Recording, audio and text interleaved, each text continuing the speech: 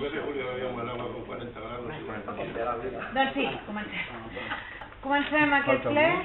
Sí, falta... Joaquim Pérez, no, a mi no m'ha no notificat la, la seva no presència avui en el ple. No ho sé. I llavors començarem amb el primer punt de ratificació d'urgència.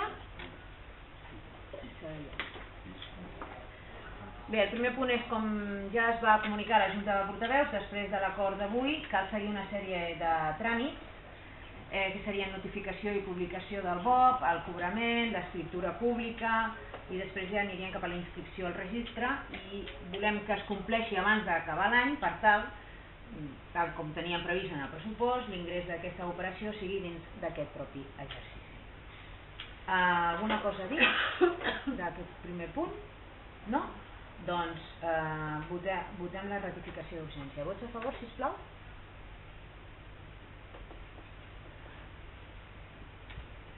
Vots en contra? Abstencions? Molt bé. Següent punt. Senyor secretari, no tinc el títol de la, del punt i llegeixi la proposta. Gràcies.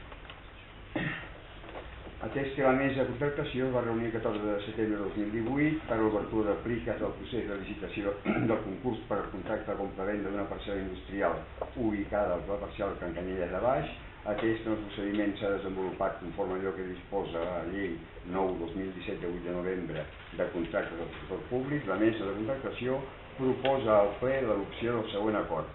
Primer, adjudicar a l'únic licitador Immobles Molí SL amb NIF tal el contracte de compravenda d'una parcel·la industrial ubicada al Pla Parcial Can Canyella de Baix pel preu de 1.146.000 euros més IVA. Segon, notificar aquest acord en Immobles Molí SL, publicar l'adjudicació al perfil del contractant i al butlletí oficial de la província i requerir el pagament del preu i procedir a l'atorgament d'escriptura pública. Molt bé. La proposta que acaba de llegir, el senyor secretari és clara, és la licitació que aquest ple ja va aprovar i com que només hi ha hagut un licitador i compleix amb el plec, doncs s'ha d'adjudicar. Alguna intervenció? Endavant, senyor Carles Miquel. Eh, Nosaltres, en el moment de la Junta de Portaveus no en teníem coneixement, encara no havíem pogut revisar la documentació amb, amb més profunditat, però hem identificat que la normativa a la que fa referència, la, la, la llei 9 barra 2017, doncs, a la seva disposició addicional segona parla de, la, de quina ha de ser la composició de les meses de contractació. I, i, la, I la mesa de contractació ha de tenir un màxim d'un terç de càrrecs electes i la mesa de contractació aquesta, que s'ha constituït per fer aquesta licitació, té 3 de 6 càrrecs electes. Llavors, nosaltres aquí, en aquest sentit, per evitar possibles problemàtiques posteriors, jo no sé aquí en aquest punt, jo demanaria que això es quedés a damunt de la taula, perquè estem tirant endavant una situació que és nula de ple dret. És a dir, si qualsevol veí o empresari o regidor o alguna vol anar contra això, podria portar-ho. Podria portar-ho i, la, i ens trobaríem amb una, amb una amb una sentència de nulitat que faria tirar endarrere tot. Jo simplement ho vull deixar sobre la taula perquè crec que ens estem, ens estem arriscant. Hi ha jurisprudència al respecte, eh? tinc aquí alguna sentència fins i tot que, que podria ser preocupant. Ja està, només ho vull deixar així sobre la taula perquè ho sapiguem. Senyor secretari, com? No, tant quan tant, a veure, suposo que les sentències que fa referència no són de supòsits d'alienacions patrimonials, sinó de contractació. No ho dic, ho dic per una cosa, perquè... Són meses de contractació. Sí, per això dic. És que en, en, en matèria d'alienació patrimonial la llei de contractes només s'aplica subsidiàriament.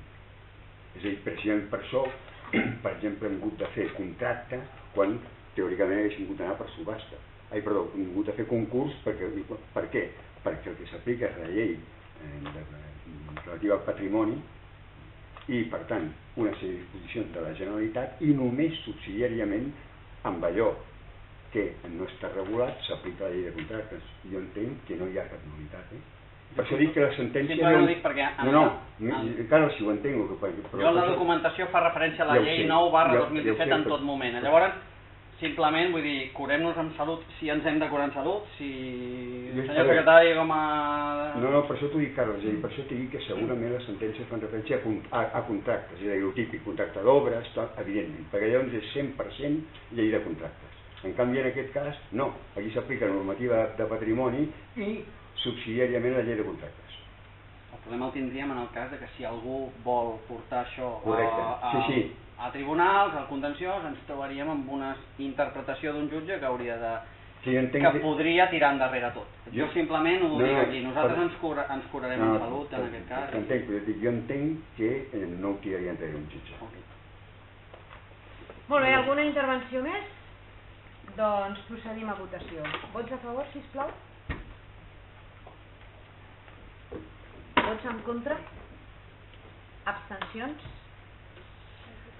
Molt bé, bona nit a tothom. Gràcies.